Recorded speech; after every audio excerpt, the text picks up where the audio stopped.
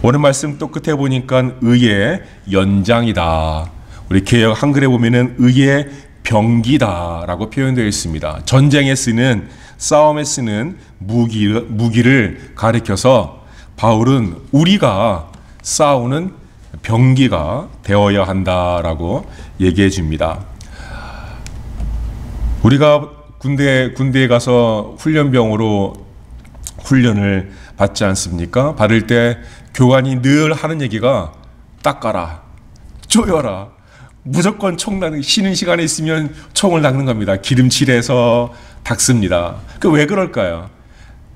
우리 공기 중에 공기 중에 공기 중에 여러 가지 성분들이 있지 않습니까? 뭐 산소도 있고 질소도 있고 또 수분도 있고.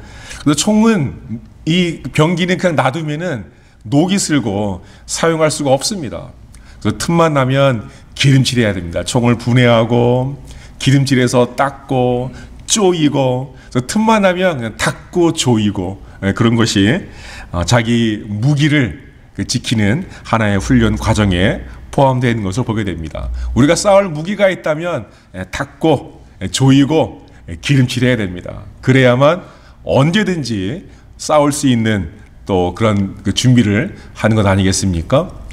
근데 바울은 우리 보고 너희는 의의 병기다, 의의 무기다. 오늘 말씀의 의의 세 번역 버전에서는 의의 연장이다. 우리 몸이 우리 지체가 의의 병기, 의의 연장이다. 이렇게 표현하는 것을 보게 됩니다. 그 전에 보니까 불의의 연장, 잘못된 일의 도구가 되지 말고 의의 연장이 병기가 되라는 겁니다. 여러분 하나님께서 우리의 몸 육체를 주시지 않았습니까? 근데 어떤 사람은 육체를 육체를 가지고 나쁜 일을 저지르지 않습니까? 뭐 강도짓도 하고 심지어 살인도 하고 사람 때리기도 하고 폭행하기도 하고 또 자기 몸을 함부로 굴립니다. 술에 취해서 그냥 고주망태가 돼가지고 이성도 이성을 못 차리면서 생활하는 사람들 또 마약에 빠져서 또 도박에 빠져서 또 컴퓨터 게임이나 뭐 채팅 이런 거에 빠져서 그냥 시간을 소모하면서 사는 그런 사람들이 있지 않습니까? 자기의 몸, 자기의 주신 이 몸이 생명이 자기의 것이 아님에도 불구하고 그렇게 함부로 사는 모습들 바로 그것을 불의의 연장이다. 잘못된 일에 우리의 지체를 쓰고 있는데 우리는 그러지 말자는 겁니다. 적어도 그리스도인들은 우리의 지체를 가지고 악한 세력들과 싸울 수 있는 그런 병기로 준비하자는 겁니다. 여러분, 우리의 자녀들이 만약에 의의 도구로, 의의 연장으로 만약에 되고 있다면 어떻습니까? 속상하지 않습니까? 여러분, 자녀들이 일하지 않고 운동하지 않고 게을러가지고 하루 종일 그냥 집에만 뒹굴고 있다. 계속해서 게임만 하고 있다. 또 반대로 자기가 성공했다고 막 덤비면서 계속 공부만 하고 있다. 자기 건, 자기 건강 챙기지 않고 잠도 안 자고 약 먹어가면서 커피 마셔가면서 나는 1등에서 뭐 어느 의대 갈 거야 이러면서 공부만 하고 있다. 여러분 그러면 멈추게 하지 않습니까?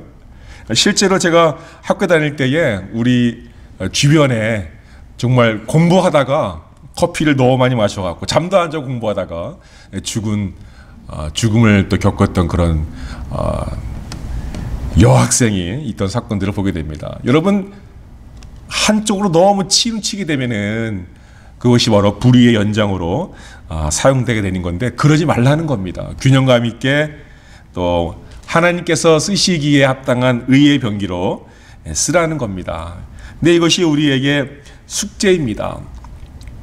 오늘 말씀 읽어보면은 맨 끝 13절에 보면은 우리는 하나님의 연장으로 바쳐야 됩니다. 8절에 보니까 먼저 우리가 의의 병기로 쓰이기 위해서는 먼저 그리스도와 함께 죽어야 한다. 그리스도와 함께 죽어야 한다. 왜냐하면 그래야만 그와 함께 또한 살아날 것임을 우리는 믿습니다. 그러니까 우리 그리스도인들은 한 번은 죽어야 됩니다. 그리스도와 함께 죽어야 됩니다. 육체의 죽음이 아니라 우리의 우리를 감싸고 있는 우리를 둘러싸고 있는 악의 세력에 대해서 또 우리 안에 있는 그 죄의 본성에 대해서 한 번은 죽어야 됩니다. 그 고백이 나는 죽었습니다. 나는 나를 십자가에 못 박혀, 못 박혀 나를 칩니다. 나를 죽입니다.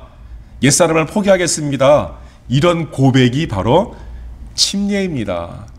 그러니까 침례는 무슨 교회 행사가 아니에요. 침례는 한 사람의 고백을 우리 믿음의 가족이 다 듣는 시간입니다. 나는 옛사람을 물에 담깁니다. 죽입니다. 그리고 그리스도와, 그리스도와 함께 살아날 것을 믿습니다. 나는 이제 옛사람은 죽었으니 새 사람으로 살겠습니다. 우리 또한 살아날 것이다. 이것은 영어로 보니까 we shall live입니다. 이거는 자기가 살아나야겠다는 의지와 당연함을 같이 포함하고 있는, 있는 단어입니다. 우리가 보통 어, 춤추시겠습니까? 그럴 때뭐 shall you dance, shall을 쓰지 않습니까? 그것은 상대방에게 자기의 좋은 의도에 참여하라, 참여하, 참여하지 않겠느냐라고 얘기할 때 묻는 다른 것을 보게 됩니다. 우리가 우리 예수님께서 그리스도와 함께 우리가 죽었으면 그리스도와 함께 살 것을 나는 믿습니다. 나는 확신, 확신합니다. 그래서 나는 살아날 것이다. 이것을 우리가 이니칭 복수 미래형입니다. We shall live. 나는 살아날 겁니다. 나는 살아나야만 됩니다. 이런 마음들이 복합적으로 포함되어 있는데 헬라어로는 쉬제 소맨이라고 되어 있습니다. 나는 살아날 겁니다. 그것을 믿습니다. 이때 믿음도 아 나는 확신합니다. 이런 뜻으로 하는 겁니다. 나는 이제 그리스도와 함께 죽었으니 내 앞으로 남은 삶은 내가 그리스도와 함께 살겠습니다. 그 얘기는 예수님과 함께 동행하며 예수님께서 원하시는 삶, 예수님께서 보여주신 예수님의 생각, 정신, 또 말, 태도, 난 그것을 따라 살겠습니다. 이런 결단을 하는 겁니다. 바로 그것을 혼자 할 수도 있지만 침례는 우리 함께 모인 자리에서 우리 가족들에게 다짐하는 겁니다. 고백하는 겁니다. 그래서 침례가 우리에게 중요하지 않습니까? 빌립보서 3장 10절에 그리스도를 알고 그분의 부활의 능력을 깨닫고 그분의 고난에 동참하여 그분의 죽으심을 본받는다. 우리가 한번 이것으로 공부한 적이 있습니다. 우리가 그리스도를 배울 게 많은데 왜 하필 그리스도의 죽으심을 본받는가? 그리스도의 능력을 본받자. 그리스도의 기적을 본받자. 이렇게 말하지 않고 그리스도의 예수님의 죽으심을 본받는 거다. 내가 먼저 죽어야 한다는 겁니다. 내가 먼저 내 안에 있는 옛 자아들이 죽어야 한다는 겁니다. 바로 그것이 마치 우리의 우리의 병기, 우리의 무기에 기름칠을 하는 것과 같습니다. 기름칠이 무엇입니까? 이 땅에 있는 이 공기 중에 있는 수분들 또 그 무기를 부식시키는 그런 기체들을 막, 막기 위해서 기름칠을 하지 않습니까? 우리가 한번 죽어야 성령께서 우리 가운데에 들어오십니다. 그러면 우리에게 기름이 칠해진 겁니다. 성령께서 우리 안에 거하실 때 비록 악한 세상에 우리가 살고 있지만 주님께서 우리를 지켜주시고 보존해 주시고 빌리포 3장 11절에 이어서 보니까 나는 어떻게 하세든지 죽은 사람들 가운데에서 살아나는 부활에 이르고 싶습니다. 나는 이 땅 가운데 살아가지만 악마의 세력 가운데 이 땅 가운데 살아가지만 나는 여기에 침체되지 않고 여기에 침식되지 않고 여기에 녹슬지 않고 여기에 머무르지 않고 부활에 이르고 싶습니다. 내 나의 육체 나의 삶은 죄악이 스며들지 못하게 기름칠해서 성령이 충만하게 채워져 있어서 그리스도의 부활에 이르고 싶습니다. 여러분 이르다란 말이 무슨 말입니까? 부활에 이르다는 말은 갑자기 내가 잘 되고 부활에 이르는 모습이 아니라 점진적으로 예수님의 부활의 삶, 그 온전한 삶에 내가 자라한다는 겁니다. 바울은 내가 죽으심을 본받아서 내옛 자아를 십자가에 못 박고 나는 이제 부활의 삶을 살고 싶습니다. 그러면서 고백합니다. 나는 날 이것을 붙들려고 쫓아갑니다. 14절에 이어서 그 부르심의 상을 받으려고 목표점을 바라보고 달려갑니다. 나는 부활에 참여하기 위해서 새로운 사람으로 바로 예수님 닮은 사람을 거듭나기 위해서 달려갑니다. 그것이 나의 삶 목표입니다. 여러분 우리가 삶의 목표를 정하는 게 굉장히 중요합니다. 왜냐하면 내가 어디로 가는지가 어디로 가는지가 내가 지금 어떻게 오늘 살아야 할지를 결정하지 않습니까? 뭐 짧게는 뭐 우리가 예를 들어서 미국이 처음 올 때 미국에 가서 어떤 삶을 살아야 되겠다. 이런 먼 어떤 그 계획들이 있어야만 또 어, 이민을 준비하게 되고 갖추지 않습니까? 예, 저의 삶을 돌이켜 볼 때가 가끔 있습니다. 여러분 우리가 한번 또 죽음의 어떤 병이나 어떤 순간에 이르면 그 자기의 삶을 복습하고 복귀하지 않습니까? 어떤 이는 어, 옛날에 그 구봉서 장로님이죠 돌아가시기 전에 간증을 한번 들어봤는데 높은 데서 떨어지셨는데 그 떨어지는 몇 초 사이에 자기의 인생이 마치 영화를 영화를 이렇게 보는 것처럼 자기의 인생이 쫙그 짧은 순간에 그냥 확 지나가면서 아 그 순간에 자기가 어떻게 살아야 할지 뭘 바라보고 살아야 할지 깨달았다 이런 고백들을 예, 들은 적이 있습니다. 뭔가 우리 가운데 급박한 일, 육체의 질병이나 또 생명의 위협이 있을 때 우리가 순간적으로라도 우리의 삶을 복귀하게 되는 것을 보게 됩니다. 여러분 우리의 삶을 돌아오면 제 삶을 돌아오면 하나님께서 예수님 처음 믿을 때에 저한테 이렇게 이렇게 살면 좋겠다라는 어떤 마음의 꿈들, 희망을, 소망을 주셨어요.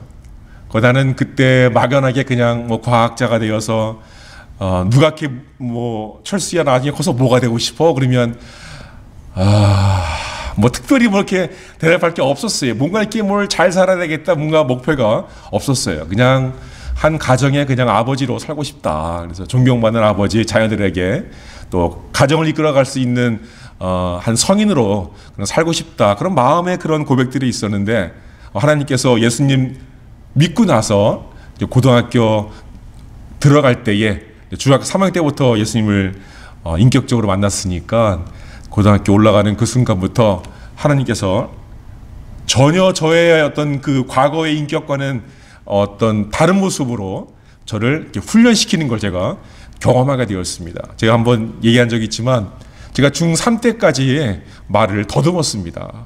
그래서 어, 말씀드렸죠. 우리 삼촌이 담배를 사오라 그러면 담배가 그때 거북선이 있었어요.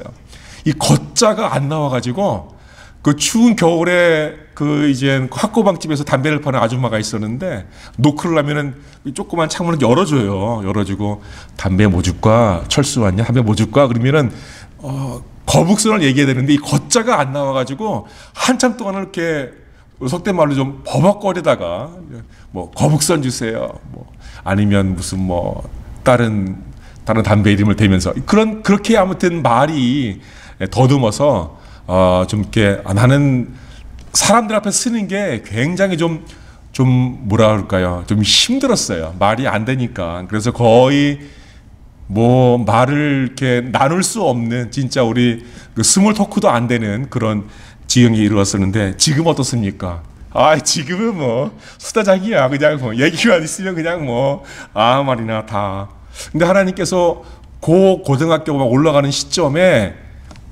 계속 그 전까지는 그런 일이 없었는데 계속 뭐 학급에 막 반장을 시키고 뭐 합창단 뭐 중창단 뭐 사람들 앞에 서야 되잖아요 그러니까 노래 부르면서 이런 활동을 하게 하고 이런 것들이 저의 어떤 그 막연한 꿈과 겹쳐서 그런 일들이 훈련된 것을 보게 됩니다. 하나님께서 아, 그냥 막연하지만은 아, 내가 좀 과학자가 돼서 좀 이렇게 우리 신앙을 기독교 신앙을 좀 이렇게 뭐라 그럴까 이렇게 커버하고 좀 보완하고 또 우리 우리 전문적인 용어로 변증한다 그러죠.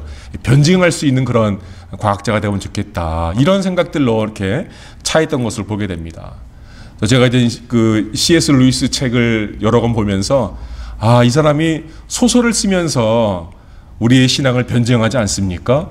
그런 모습들을 한번 배웠으면 좋겠다. 이런 생각들을 막연하게 가졌는데 하나님께서 그런 삶들을 살아갈 수 있도록 이렇게 훈련시키고 도와주는 것을 보게 됩니다. 우리가 목표점을 무엇을 바라보았는지가 정해지면 하나님께서 나는 의도하지 않았음에도 불구하고 하나님께서 여러 가지 모양으로 공부면 공부, 또 운동이면 운동, 또 다른 활동이면 활동들을 이렇게 하게 하셔서 우리의 모습을 갖추게 하시는 걸 보게 됩니다. 그래서 빌립보 3장 15절에 이어서 여러분은 성숙한 사람은 이렇게 생각합니다. 여러분이 무엇인가를 달리 생각하면 하나님께서도 그것도 여러분에게 드러내실 겁니다. 우리의 생각이 다른 생각으로, 새로운 생각으로 우리가 변할지라도 하나님은 그 삶을, 그 생각들을 인정하셔서 그런 것들이 드러나도록 우리가 소망을 갖게 되면 그 소망을 하나님께서 그냥 무시하고 버리는 것이 아니라 들어주시고 하나님 이걸 하고 싶어요. 이걸 잘할 수 있을 것 같아요. 이런 우리가 기도를 드리고 우리를 찾아갈 때 새로운 삶을 찾아갈 때에 주님께서 그것을 드러나게 하시고 16절에 보니까 우리가 어느 단계에 도달했든지 그 단계에 맞추어서 행하라는 겁니다. 성숙한 지경에 완전한 부활의 몸에 이르지 않았지만 그 단계에 합당한 모습으로 생활할 수 있도록 우리를 도와주시고 우리를 인도하신다는 겁니다. 여러분 무기가 대포도 있지만 어떻습니까? 칼도 있지 않습니까?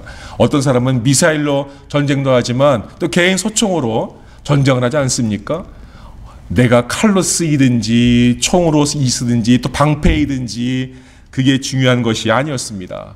어느 단계에 있든지 어느 모습으로 있든지가 중요한 것이 아니라 하나님께서 쓰시고자 할 때에 쓰기에 합당한 병기로 연장으로 준비되어 있는 것이 바로 오늘을 살아가는 우리의 모습이었습니다.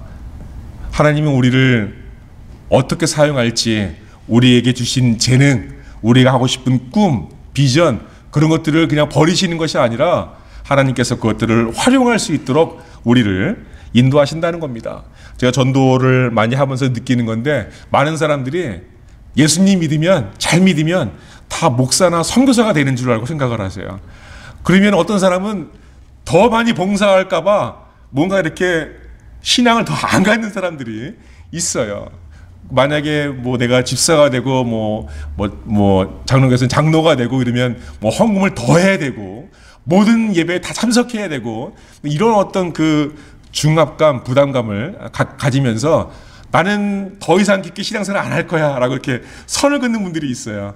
그래서 나는 예수, 그럴 바에는 예수 안 믿겠어. 나는 괜히 부담스러우니까 예수 안 믿겠어. 이런 모습들이 있는 것을 보게 됩니다. 잘못된 신앙이죠. 그러니까 하나님은 그렇게 우리에게 의무를 주시고 부담을 주시는 분이 아니에요.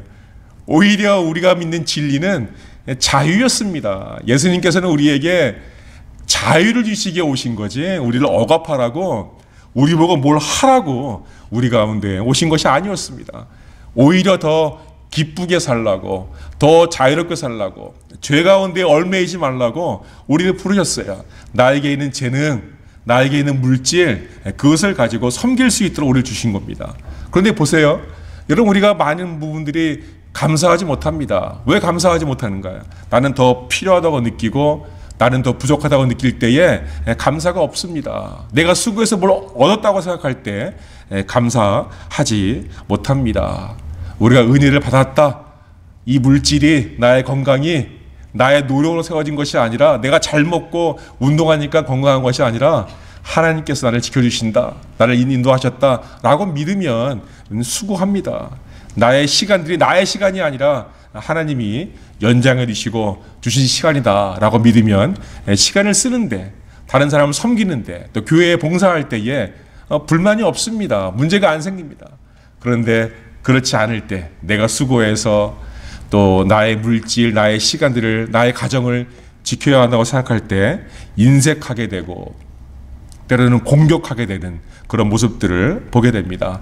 에베소서 6장에 우리가 어떤 모습으로 살아야 할지를 보여주는데 우리가 어떻게 어떤 병기로 어떤 병사로 살아야 할지 보여줍니다. 에베소 6장 10절에 주님 안에서 그분의 힘찬 능력으로 굳세게 되십시오. 그분의 힘찬 능력은 성령의 충만합니다. 말씀의 충만함, 성령의 충만함, 충만함으로 힘찬 능력으로 굳세게 되어라. 11절에 이어서 그리고 악마의 관계에 맞설 수, 맞설 수 있도록 하나님이 주시는 온 몸을 덮는 갑옷을 입으십시오. 자, 우리에게 갑옷을 입어라 그랬는데 내가 취하는 갑옷이 아니라 뭐라고 되어 있습니까? 하나님이 주시는 온몸을 덮는 갑옷을 입으라는 겁니다. 우리에게 무기를 주시고 방패를 주시니가 내가 취하는 것이 아니라 하나님이 주시는 갑옷을 입으라는 겁니다. 왜냐하면 우리가 입어야 될 갑옷, 우리가 병기를 들어야 될 대상은 사람이 아니었습니다. 12절에 이어서 우리의 싸움은 인간을 적대적으로 상대하는 것이 아니라 통치자들, 권세자들, 어두운 세계의 지배자들, 하늘에 있는 악한 영들을 상대하는 것입니다. 여러분, 그래서 죄는 미워하되 사람은 미워하지 말라. 그런 명언도 있지 않습니까? 우리가 바라보는 대상은 그 사람들을 지배하고 있는 악한 영들입니다. 세상을 지배하고 있는 지배자. 그 악한 영들을 대적하기 위해서는 우리에게 필요한 무기와 갑옷이 정말 전신 갑주, 우리가 온몸을 덮는 갑옷이 필요한데 이것은 하나님이 주시는 거라는 겁니다. 우리가 무기로 완전히 무장하라.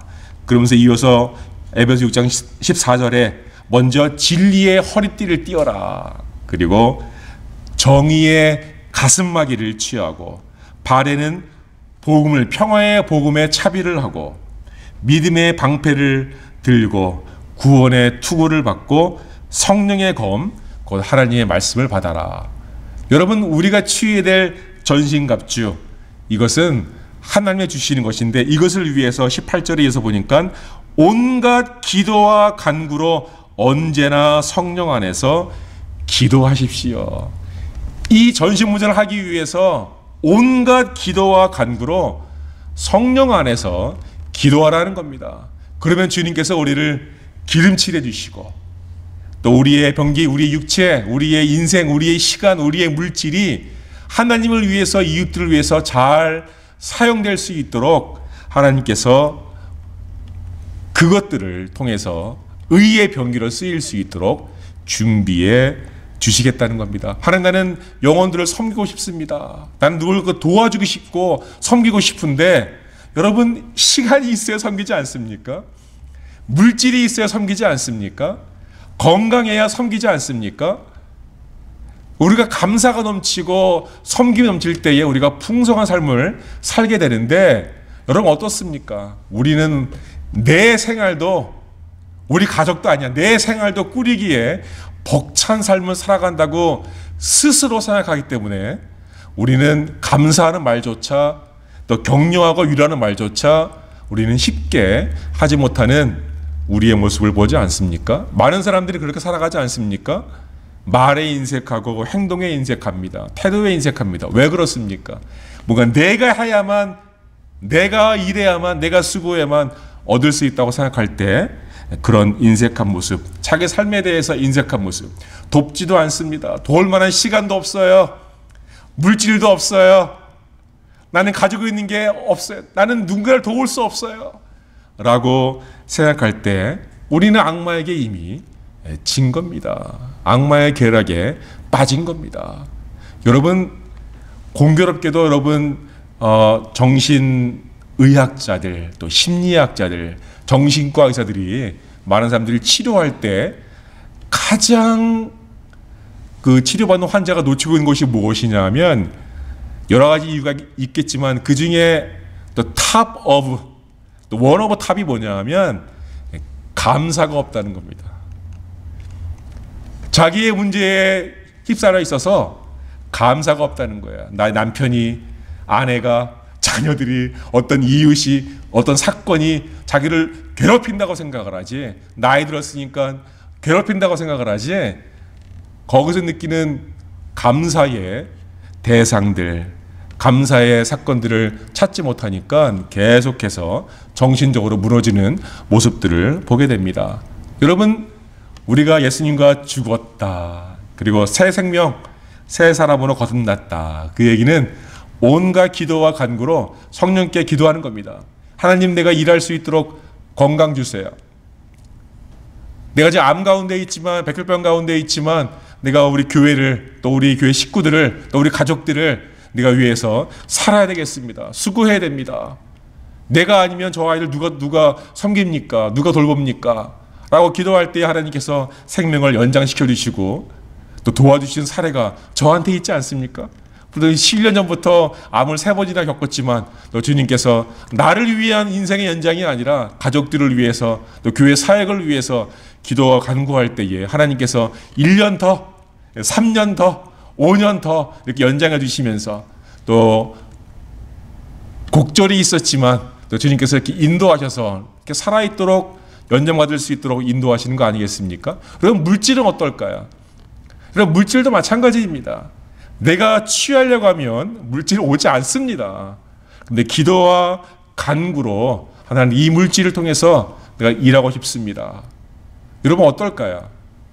하나님께서 물질의 물꼬를 열어주셔야만 우리에게 물질이 흘러오는 겁니다.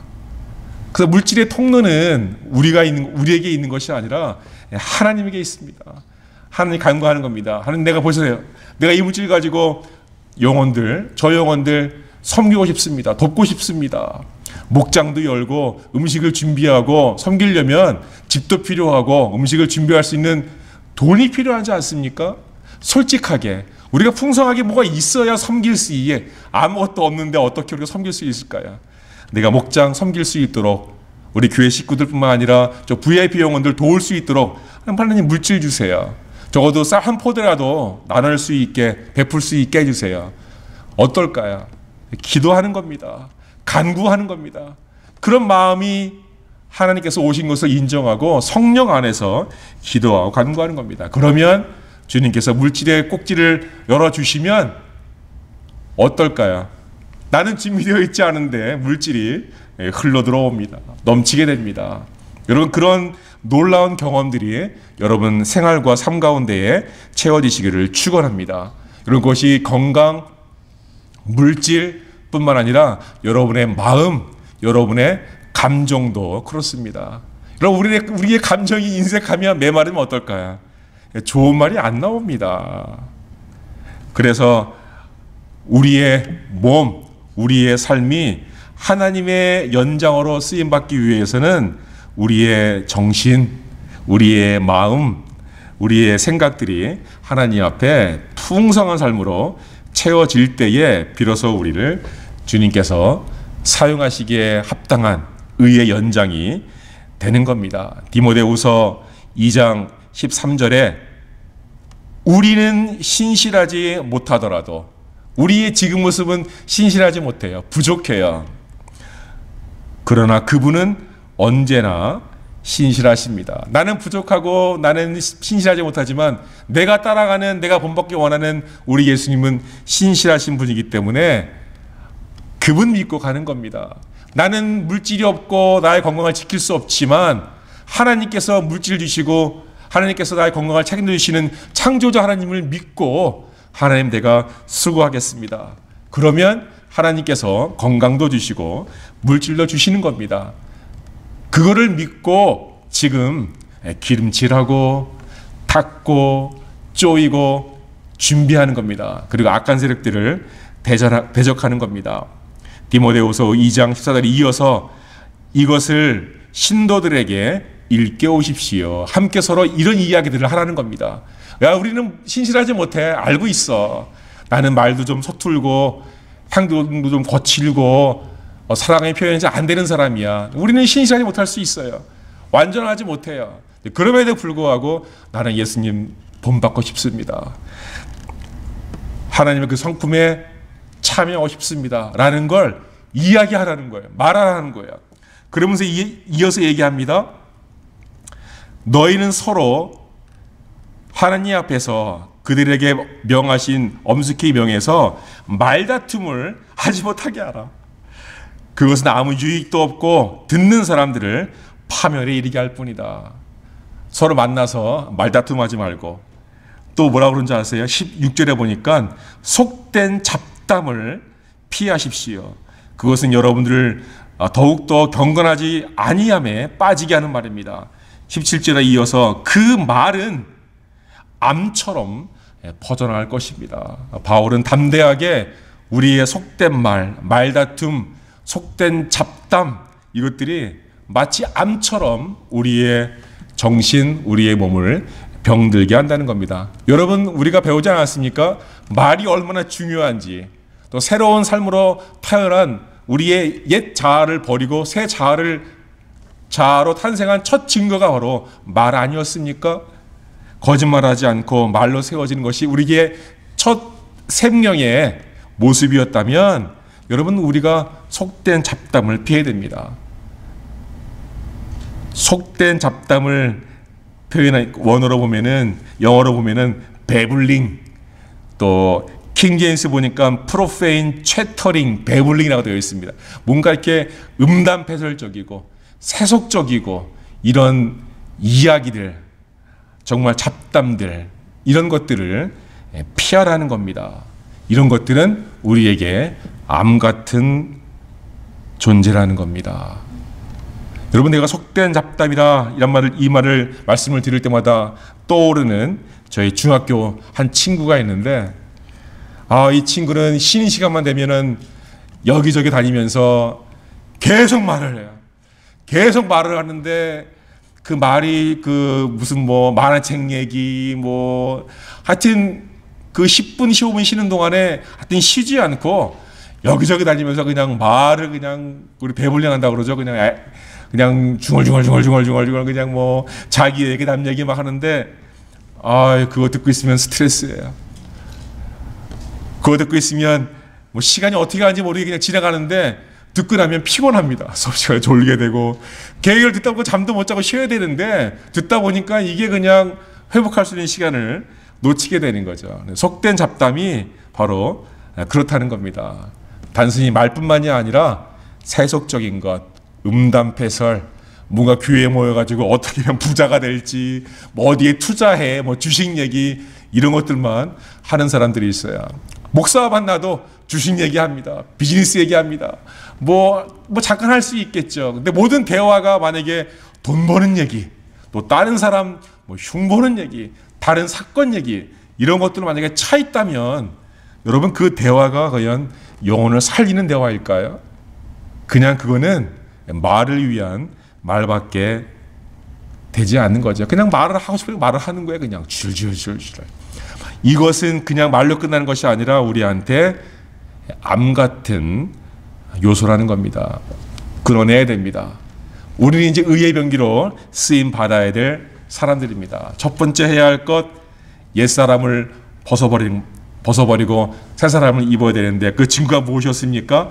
에베소 4장 25절에 참된 말을 하라.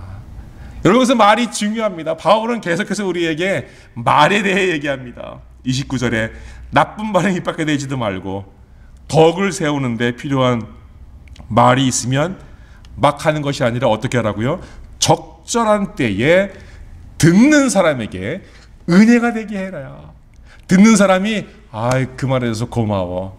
아요 요 타임에 요 시간에 딱 그 얘기 해줘서 너무 고마워. 이것이 바로 듣는 사람에게 은혜가 되는 얘기입니다. 듣는 사람이 화가 나가 있으면 하지 말아야 돼요. 물어보지 말아야 돼요. 그래서 우리 한국 사람들이 small talk에 약합니다. 뭔가 이렇게 이야기를 처음 끊을 때 상대방을 이렇게 부드럽게 해주고 릴렉싱 해주고 그런 말들의 기술이 필요한데 그런 기술이 없는 것을 보게 됩니다. 여러분, 세 사람의 증거는 말이었습니다. 속된 잡담, 나쁜 말, 거짓말 이런 것들 피하고 참된 말을 하고 덕을 세우는 말하고 적절한 때에 할 수 있는 말하고 그리고 듣는 사람이 은혜를 느낄 수 있도록 말하는 겁니다. 바로 그것이 우리의 지체를 의의 병기로 지키는 첫 번째 여러분 기술입니다. 닦아야 됩니다. 조여야 됩니다. 우리의 입술을 먼저 조이고 닦으세요. 성령의 기름을 칠해서 은혜로운 말, 영혼을 살리는 말. 그래서 여러분들이 우리 교회가 우리 가정이 하나님께 기쁘게 쓰이는 의의 연장으로 세워지기를 마지막으로 축원합니다.